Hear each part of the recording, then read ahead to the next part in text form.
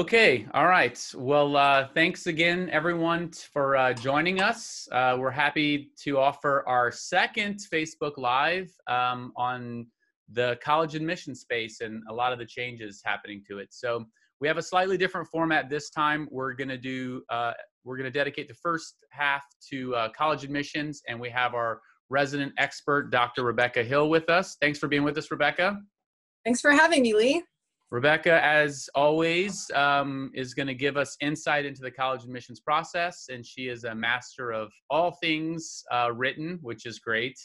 Um, so I, I, would invite everyone, if you have questions, please enter them in the, the comments. We're going to address as, as many of them as we can. Um, but I've already gotten some questions ahead of time for Rebecca, so why don't we just go ahead and, and give it a shot? So, all right, Rebecca, if I'm a parent um, I've got a I've got a, a junior. Um, how is their time best spent right now? So Lee, in the next couple months, a junior should be focused on a few discrete tasks if they're looking for some focus. Number one, they should be preparing for the AP tests if they are registered for them. College Board has plenty of past tests that they can practice from. There's sample questions. A lot of these tests have moved to an essay format this year. And one of the things that students should really practice with is how to write in a, in a time setting. Uh, so that's something that they should be working on. They should be looking at their college list to see if their colleges require or think that it's great to have some SAT subject tests so they can start studying for those. We expect that those will be offered in, in late summer and early fall. Um, but otherwise, in terms of looking ahead to the end of this academic year and, and into the summer, into what is traditionally a head start on the college app season, they might be doing something a little bit non non-traditional since a lot of the internships and part-time jobs and summer camps have been completely canceled or they're offered in a remote capacity which may not be as as profitable for for the company or for the student.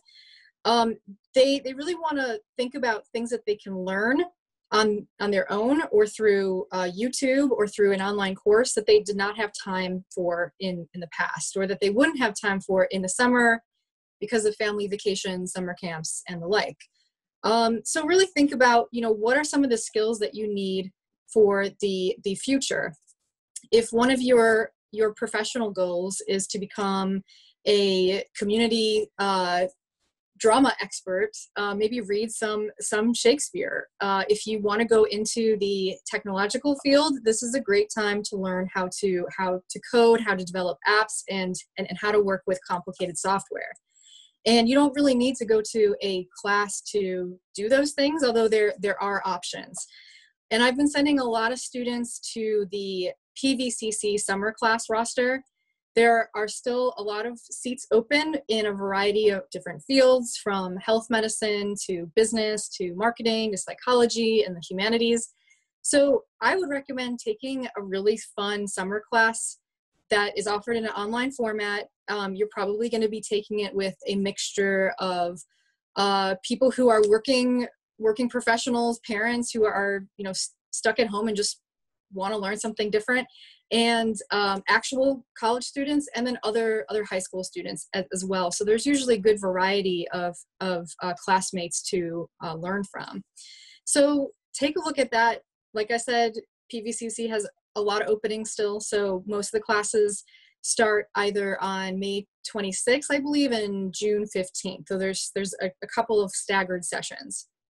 Um, if you're really gunning for a um, mid to high, highly selective college, you might want to look at the online summer classes that they offer uh, because it'll give you an opportunity to work with faculty at that university before you even get there.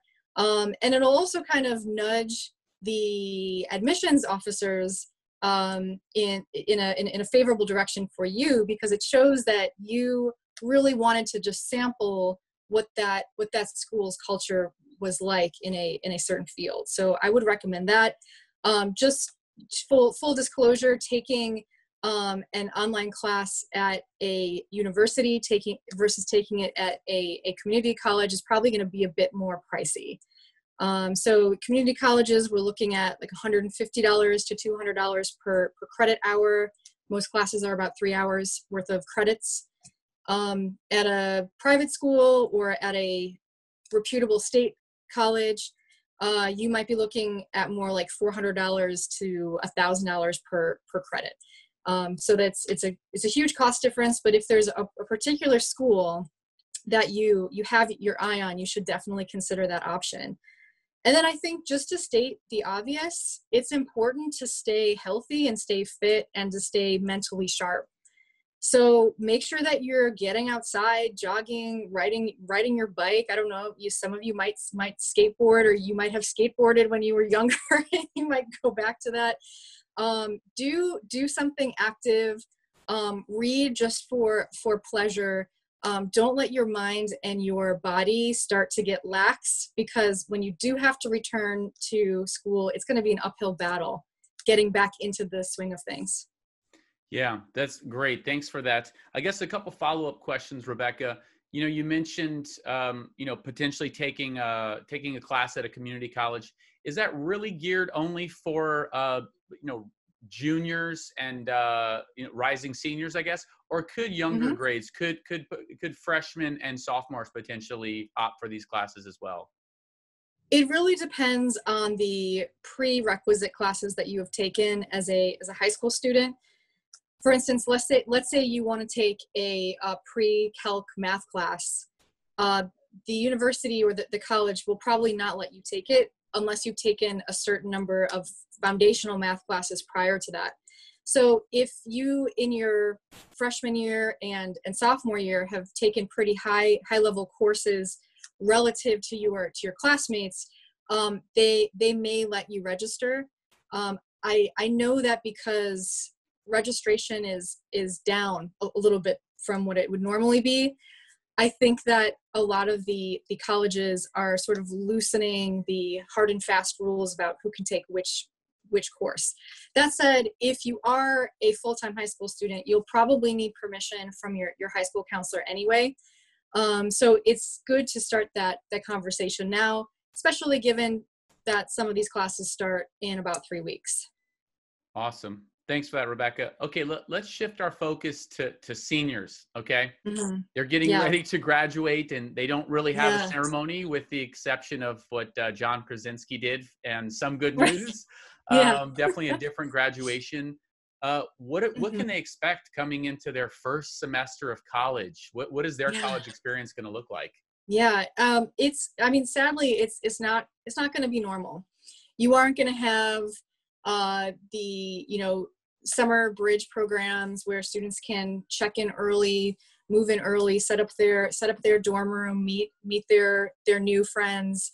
Um, you aren't going to have an opportunity to really shop classes. I think you're probably just going to register and just be stuck in those in those classes whether they're online or in, in person. Um, i'm not really sure what's going to happen with college sports. Um, even if the teams still play i know everyone is excited about you know football um, i don't really see a, a 10,000 people packed into a single stadium in, in the next year. So things are things are, are going to look different. They are going to feel different. I i know that certain colleges are making an effort to at least recreate some of the the social life that everyone looks looks forward to in their college years in an online format. Um, but i i don't think it's going to feel like what college is supposed to feel like until we're all back on on campus. Now depending on where you're planning on going in the fall if it's uh, if it's in a major city um i'm going to say the odds are 20 to 30 percent that you'll actually be meeting in an in-person format. Um i think the most likely scenario is that everything is still going to be completely digital classes are going to be online and if there are in-person classes that cannot be substituted with an online platform like chemistry classes for instance that it's going to be in a in a larger space where everyone is extremely spread out.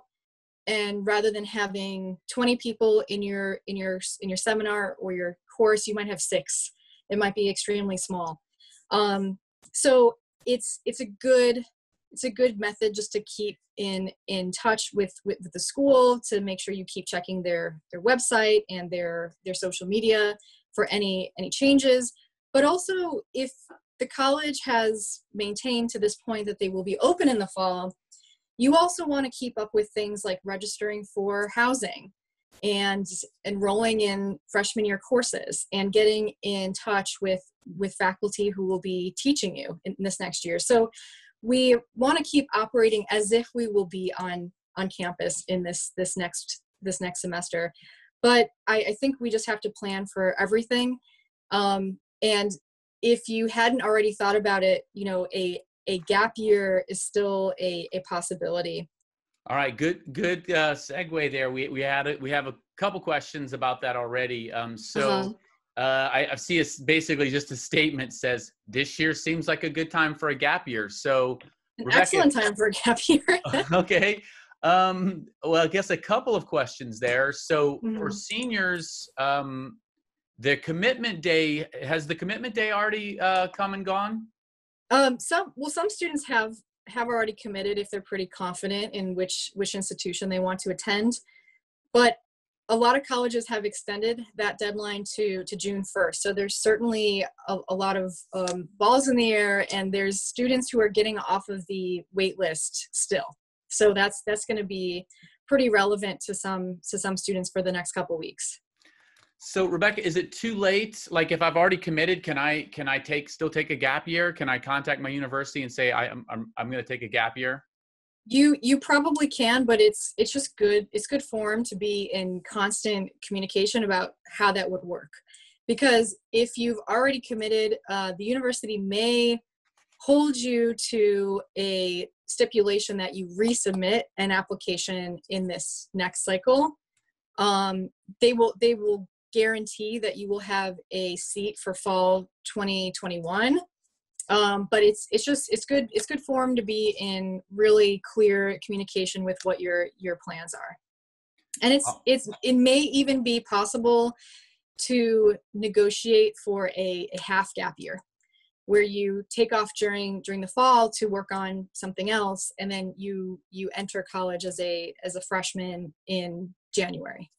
Interesting. And i, I guess a, a follow-up and maybe to your point is okay so i take a gap year well, mm-hmm. I, I know what I would have done two years ago. Maybe I go teach a surfing class in New Zealand or something, and then right. volunteer. What, what, do you? What do students do now? So what, what do they do during a gap in a COVID environment gap? Yeah. Well, you know, if you're if you're surfing at least six feet away from other surfers, I think it would be. I think it'd be okay. Um, I think I think the issue would be getting to New Zealand. I don't think they're going to be letting anybody in for the next year um, yeah this is this is really critical. So if you don't have a plan don't just take gap year to hang out for the next six months.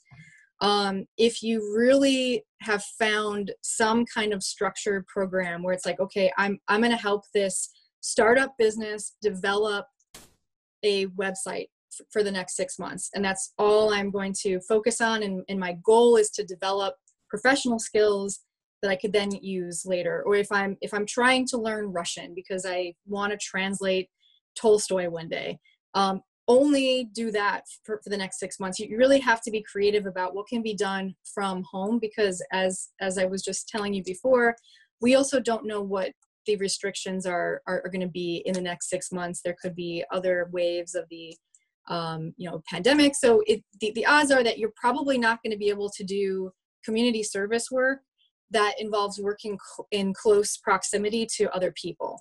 But you may be able to do the kind of uh, service work that has to do with, you know, walking through forests and collecting samples of, of, of soil. There, there are things like that. So there are, are definitely projects that, that can be done either at home or at a, a safe distance from others. And uh, if, if anyone needs help trying to figure out what those options are, I'm certainly willing to do that. Awesome. Yeah. Well, thanks so much for, for that answer, Rebecca. Um, there's a ton of comments coming in. Uh, thanks, Kelly, Dawn, Mary, Iris, um, Roslyn, and uh, Lauren for, for chiming in with your questions. Uh, Lauren Ryan has a really great question. Got a lot of thumbs up to this. So I, the question now ties into gap year. so what happens in in the admissions of fall 2021 if everyone takes a gap year or defers? What, mm-hmm. What's going to happen? What are going to be the ramifications for that admissions year? Yes, the logistics of that are going to be a nightmare, and I don't envy colleges for having to figure that out. Um, I think larger state colleges that have the have the capacity for a large fluctuation of of, of an incoming student body um, will probably be able to to handle that better than you know smaller liberal arts colleges where you know the class size is maximum 1200 people. Um, i i anticipate if that if that's what happens if, if we see that a large percentage of admitted college students decide to take gap year in this this upcoming uh, fall um, that the fall 2021 st- like the statistics will be very skewed toward uh, the, the schools being extremely conservative with how many students that they that they let in and i think i, see that having an impact more on smaller schools with a sort of fixed spatial issues um, and not so much a, a problem at, at large state schools. You also have to consider that there's probably a number of returning sophomores, juniors, seniors who may not come back or who may end up transferring closer to home or may realize, you know, this this college track is just not for me. Things aren't aren't really stable right now. You know, I was planning to go into a uh, career painting, but now I'm going to withdraw from that and I'm going to learn how to do something that will that will make money in in the next 10 years. So Rebecca, it sounds like what you're saying is maybe larger schools like VCU might have the ability to take in like larger classes and they'll have some flexibility, but maybe sure. smaller schools like Elon will have a little bit yeah. more difficult time with with major fluctuations like that. Um, do you think it's possible that uh, it, this fall schools that uh, plan to use a hybrid in-person virtual um, mm-hmm. learning environment might be able to enable that same type of hybrid program next year to accommodate for some of these admissions changes possibly possibly and i i know of many colleges um, just in their in their building of of contingency plans are thinking like how how many students can realistically take a course from us in, in an online format can we actually raise the number of, of students we are able to take in this this upcoming year because some some students can come to the campus if if they wish to and some can just stay home um, i i don't really see in, in certain types of classes where you'd you'd be in a large lecture hall anyway um, i don't really see the quality of the content uh, lessening in, in any way. However, um, there are just some things that happen in the scope of, of college life uh, that you just won't get. And is it is it worth paying tuition if the only thing that you are receiving are credits from a a, a, highly ranked brand name college? Um, so that's that's something that you know families and students have to consider on a case by case basis. Well, Rebecca, we've talked about this a lot. You know, a lot of the college experience is not necessarily what your teacher is teaching you, it's the peer mm-hmm. learning environments and those small groups that you find. And so right. I think to your point, those just don't happen as organically in a virtual environment. And so, you know, mm-hmm. I, I, mm-hmm. guess the follow up question and one I saw in the comments was, um, you know, will these pri- you know private schools maybe big public schools are they still going to charge the same tuition if they do think they're going to be doing everything virtually in, in the fall? Yeah. I i certainly hope not.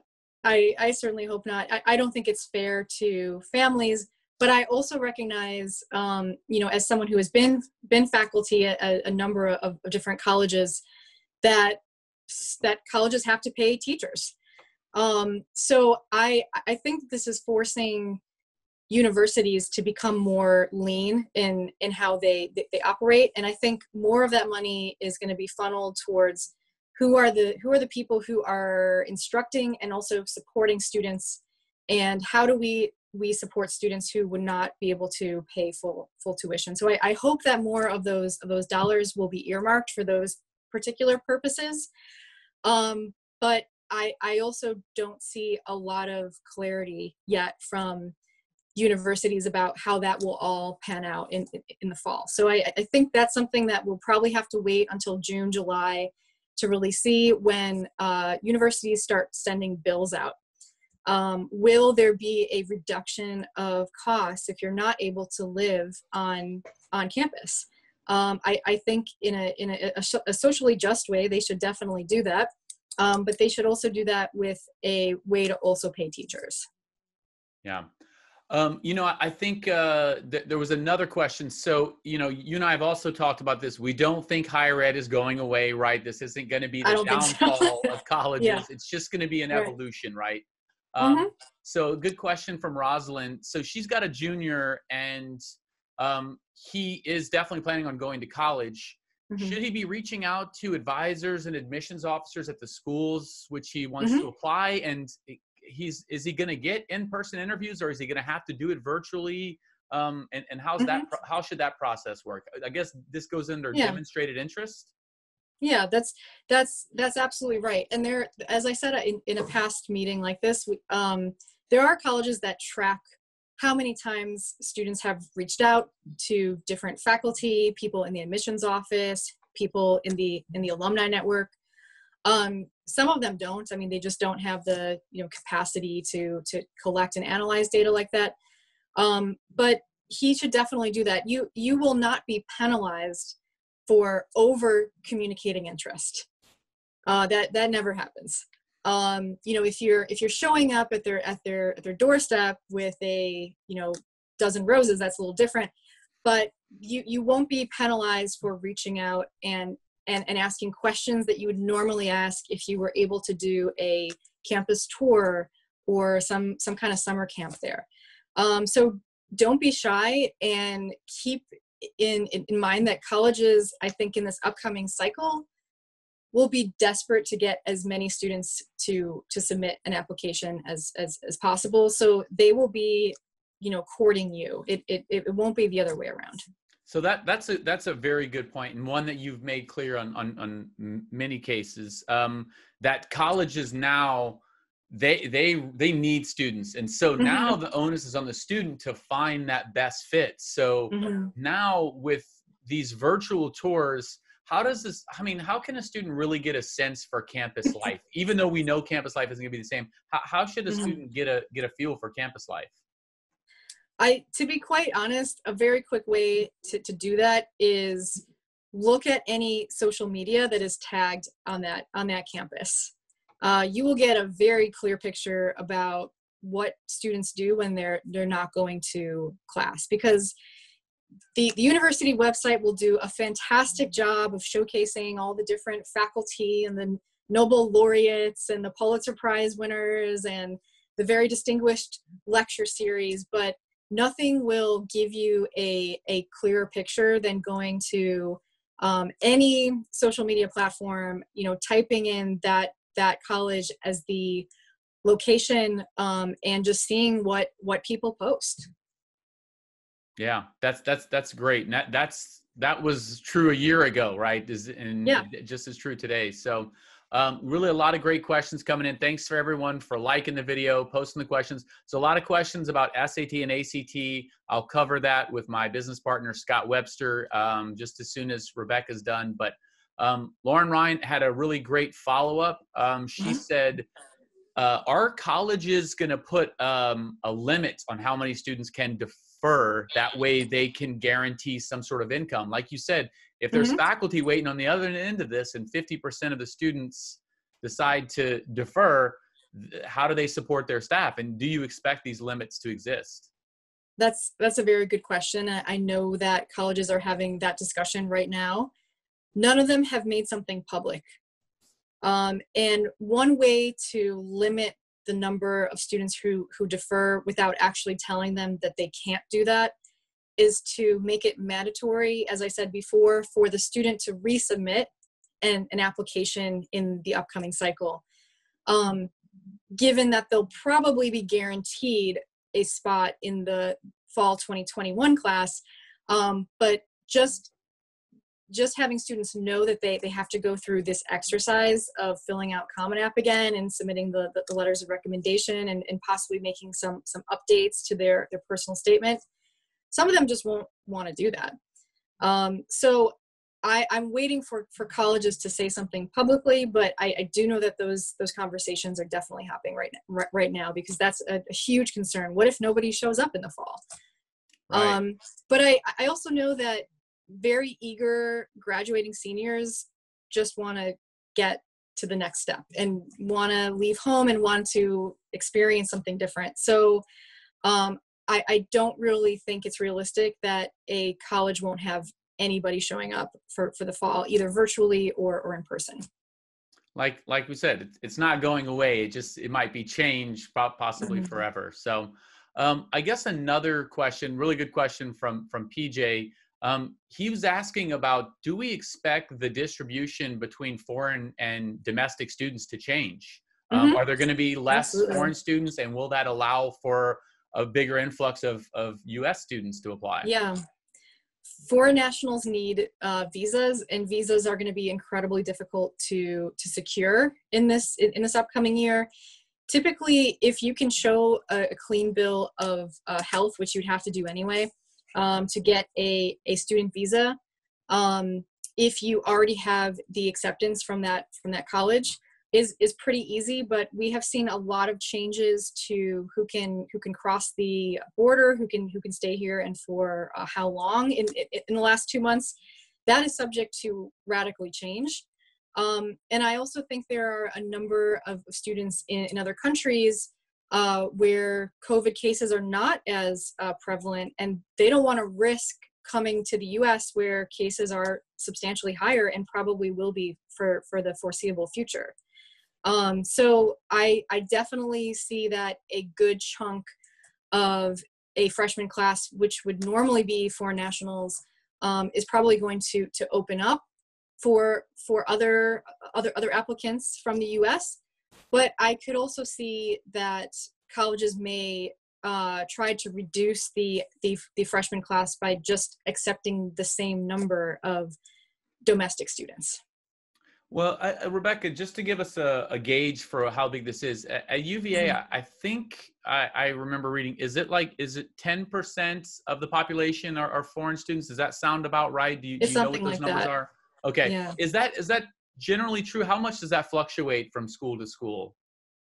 Um, it, I mean, it, it really does fluctuate. There are, uh, there are schools where the, the board of, the, the boards of uh, trustees will, will only permit a, a certain percentage of the, the, the freshman class to be foreign nationals. Um, there are school systems like, like the University of uh, California system, which could probably not survive unless they had fully tuition paying students from from from other countries um, so I there there's a good incentive to continue to to connect to to students from other countries because they generally do not qualify for for financial aid and are keeping those those schools floating.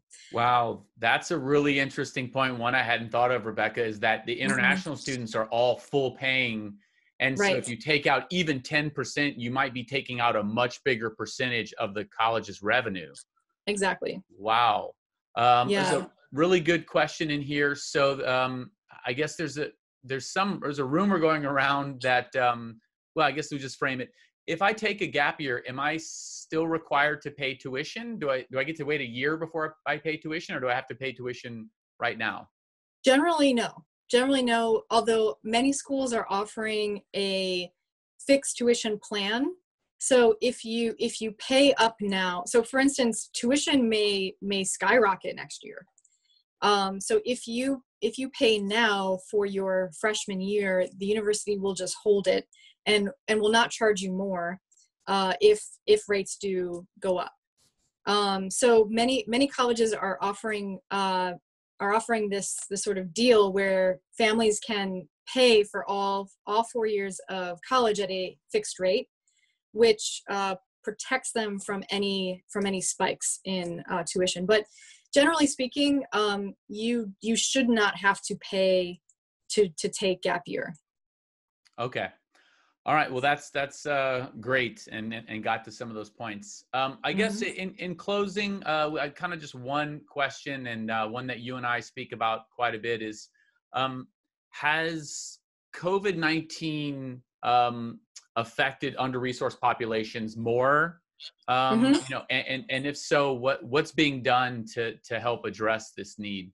Yeah no it very very sadly it, it has and for for every for every student that is comfortably uh, at, at home with really well working internet and, and wi-fi um, who's able to complete all of their all of their high school coursework and able to study for for standardized tests and, and even work on some you know pet projects um, for for every student like that there is at least one one student who is maybe still going to work somewhere at a, a supermarket at a at a gas station um, someone who who still needs to to go out and earn money to support the family to pay for rent pay for uh, health care um, who may be sharing a, a room with two or three or even even four siblings um, who maybe doesn't have you know a um, stable connection to, to, to the internet, to their to their cell phone service. Um, these students are, are really going to struggle in this in this next year in um, you know showcasing what it is that they that they did during this this whole crisis. Um, and my my hope, my sincere hope, is that universities will um, put some resources toward having readers of, of, of the applications in the admissions office really be sensitive um, to the circumstances in, in, which students had to uh, survive.